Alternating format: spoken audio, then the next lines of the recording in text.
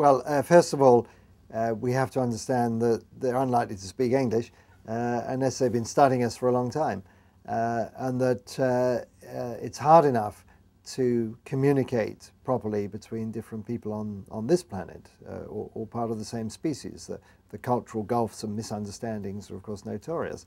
We're now dealing with a completely separate species. then you have to think, what on earth have we got in common? so I feel that our communication will be, uh, we will want to uh, let ET know our finest achievements, uh, the things we're most proud of. And if you just uh, go out on the street and ask people, well, what do you think are our finest achievements? Chances are that you'll be told a Beethoven symphony or uh, you know, Picasso uh, painting or something like that.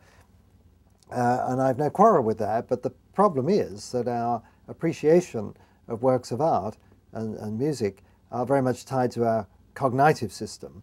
And uh, an alien whose brain is wired differently uh, uh, probably wouldn't have any understanding of it. And certainly wouldn't have any understanding of politics or sport or anything of that sort.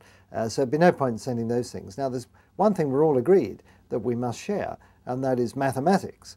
Mathematics is universal. It's, uh, it's discovered by human beings, but the rules of mathematics are the same throughout the universe, and the laws of the universe are mathematical relationships. So the underlying laws of physics we can cast in mathematical form.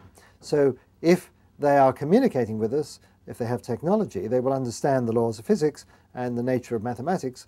These are things that we can share. So it seems to me that our communication will begin uh, in terms of mathematics and physics. So me, uh, I'm a mathematical physicist, so uh, you, you, might say, well, you would say that, uh, wouldn't you? But I really do think that this is um, the common currency of the cosmos. And so we would want to communicate about our understanding of mathematical physics. So we could tell them things that we have discovered in the realm of mathematical physics, but there's stuff that I would like to know. There are some famous problems, like how to uh, bring gravitation and quantum physics together. Uh, the long sought after th theory of quantum gravity, that's one thing that I would like to know. Uh, it may be hard to understand the answer that comes back. Uh, there's something that's perhaps a little easier. Uh, there's a quantity in uh, the theory of quantum electrodynamics called the fine structure constant. So I'm getting technical here. It's a particular quantity. It's a, a fundamental constant of nature, has a value of about 1 over 137. Nobody knows why that number is as it is. It's a pure number. It doesn't matter what units you use. Uh, and uh, it's, it's long been uh, an interest of mine as to how that number has arisen in nature, why uh, that particular number and, and, none other. So I would like ET to give me the explanation for that. Because the answer might be, we don't know either. it's not clear that ET would be all-knowing.